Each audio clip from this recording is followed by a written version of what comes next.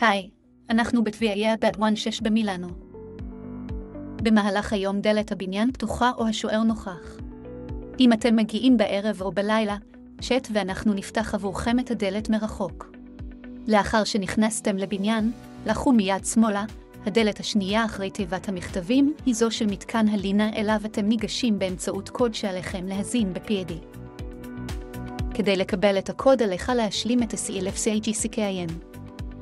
כלומר, יש לשלוח, כשבוע לפני הגעתכם, תמונה של תעודת הזהות או הדרכון של מבצע ההזמנה ושל כל מלווה בצ'אט Booking או Airbnb או בוואטסאפ ותקבלו בתגובה את קוד הכניסה שזה שווה ערך להחזקת סט המפתחות, קבלת הפרטיות על התמונה שתשלחו לנו, תמונה שתימחק שלוש ימים לאחר שהותכם ומסמך דיגיטלי עם כל המידע על איך להגיע. ברגע שנכנסים לבית יש שני חדרים, standard economy וחדר standard garden view, בשניהם תלוי צרור מפתחות על הדלת, עם שני מפתחות, מפתח החדר ומפתח דלת הבניין. ודא כאשר אתה עוזב, להחזיר אותם למקום שמצאת אותם. בעמוד זה תמצאו גם את כל סרטוני קבלת הפנים שמסבירים איך להתנייד בבית ואת השאלות הנפוצות שכבר קיבלו מענה.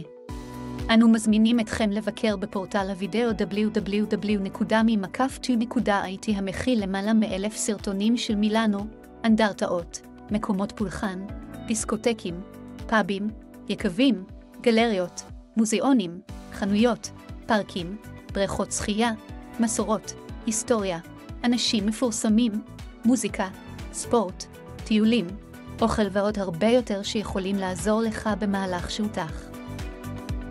אנו מאחלים לך שהות טובה ומודים לך שבחרת בנו.